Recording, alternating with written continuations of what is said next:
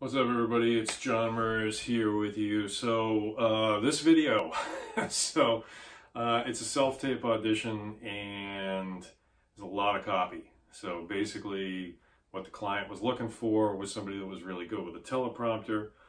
Um, I don't know that I've ever used a teleprompter before. So next best case was to, excuse me as I the frame. Oh, that hurt. Oh, right on the knee uh, was to write all the copy out on this big giant whiteboard that my wife was awesome enough to get me.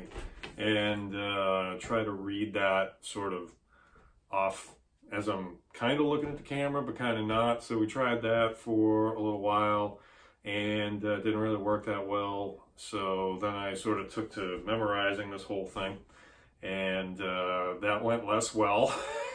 And uh, we finally got uh, finally got a decent take. So you're going to see a lot of um, uh, outtakes, uh, a lot of swearing on my part as uh, as I move from in front of the camera to behind the camera. Since uh, since I was running the audition uh, with a self tape, running the camera myself. So anyway, so just another one of the things actors go through. This is um, if if you're in the industry, you know that there's a lot of hard work that goes into it and uh, a lot of frustration in trying to capture things just uh, just as they need to be in order to hopefully book the job. So I figured it'd be kind of cool to, to throw a blooper reel together of, of this self-tape audition and uh, I'm going to send off the good take and uh, you never know. I might book it, I might not, but regardless, I got some uh, I got some good footage of me screwing up uh, out of it. So hope you enjoy it. Be sure to subscribe too.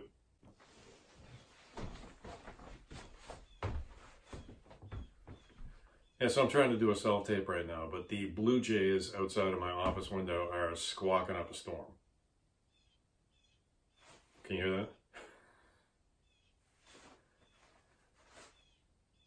So yeah, so this is fun. So this is one of the things that happens when you're doing acting and auditions. Stuff like this happens. Mother Nature doesn't feel like cooperating with you. As a judge, it may seem there's little... Uh, they may also be barred from housing assistance. Uh, fucking bastard. Being trafficked can result in criminal... Uh, fuck. As a judge, it can make... Uh, fuck. Being trafficked can result in criminal convictions that can... Ah, you fucking... they may not be able to get a job, obtain... Uh, fuck.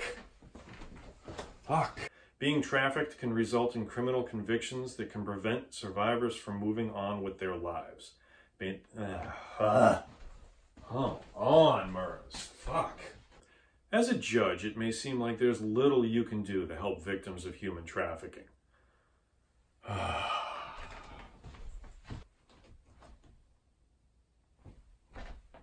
Healing. They have experienced a great deal of trauma. For uh, oh god, it was so close. Trying this again. What take is this? 30? They have experienced a great deal of trauma. Post-conviction relief is an opportunity for a survivor to, oh, God damn it, receive public assistance, apply for a student loan. Post-conviction relief can be an opportunity for a survivor oh, to get a second chance. Fuck! They may also be barred from housing assistance, applying from a student loan. Oh, applying from? Oh, really? Hmm. For a student loan.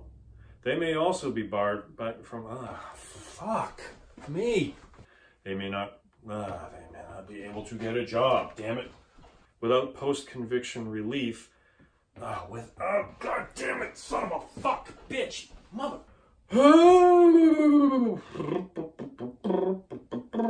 Empowered and to reclaim their life. Oh, tell me we got that. Fuck me.